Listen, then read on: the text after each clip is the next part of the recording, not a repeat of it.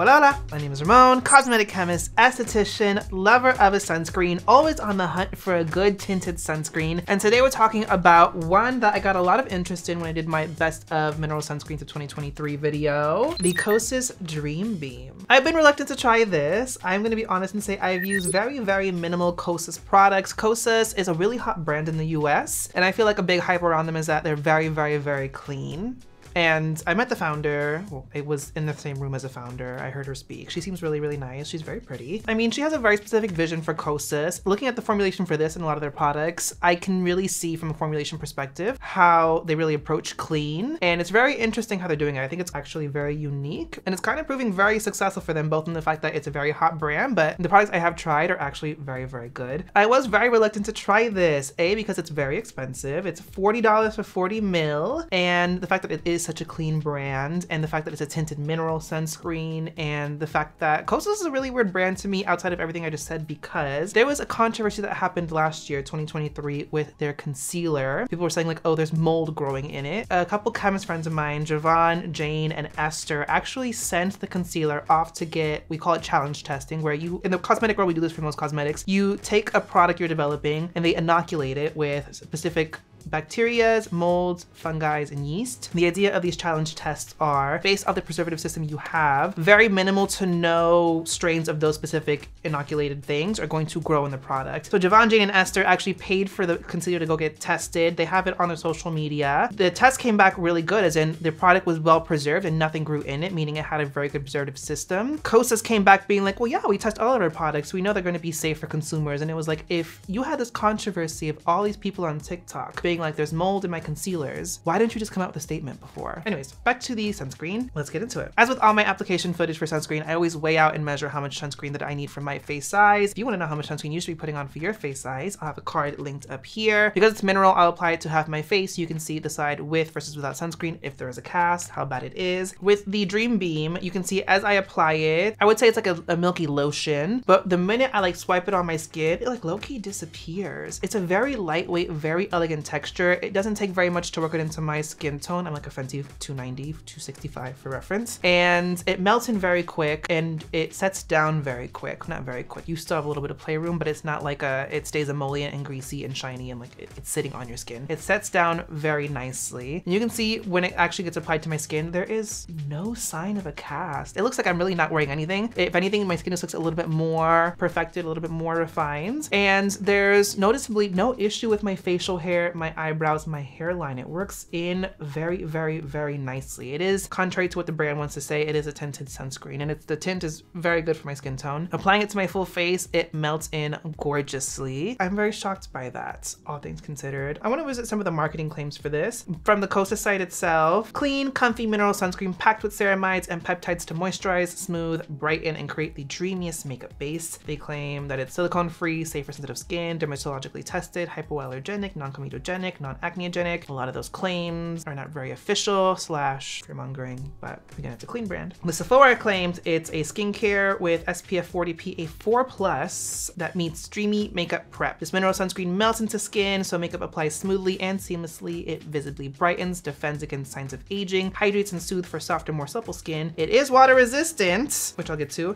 and it's safe for sensitive skin, all the claims I made before. It's also formulated with 21.7% non-nano zinc oxide to provide an optimal physical SPF barrier. You know that mineral sunscreens do work the same as chemical sunscreens, that physical barrier marketing. And it has a peachy pink hue to help neutralize zinc oxide's natural bluish white color, as you saw in the application. That is very true. Quick formulation thing before we do my final recap of the sunscreen. In terms of filters, this does have 21.7% zinc oxide, which is actually a really high percentage for zinc. The maximum is 25%. When I saw that, I was concerned because that is a very high percentage of zinc. We know a high percentage of mineral filters, white cast, but the elegance, the texture of this sunscreen, all that like that considered is insane. It is a gorgeous formula. It is SPF 40 PA4+. plus. So they did do that extra uh, UVA testing for the PPD, persistent pigment darkening, and they got the PA4+. plus. I think the tint itself helps a little bit with that just because iron oxides, which is what gives sunscreens tints, it reduces the likelihood of UV exposure causing pigmentation. And then aside from that, the formulation for this is fairly simple. It's alcohol and fragrance free and it has has, going off their own claims, it has peptides, it has ceramide, hyaluronic acid, allantoin. So it's by the marketing supposed to be a very moisturizing sunscreen. I didn't actually find it to be very moisturizing, which I actually prefer because again, it sets down really quick. It's not super moisturizing. For oily skin, this actually kept me fairly matte, like not shiny, greasy for a lot of the day. I blot once or twice, but my skin looked gorgeous. Getting to the tint of this, fun fact, on their website, on their FAQ on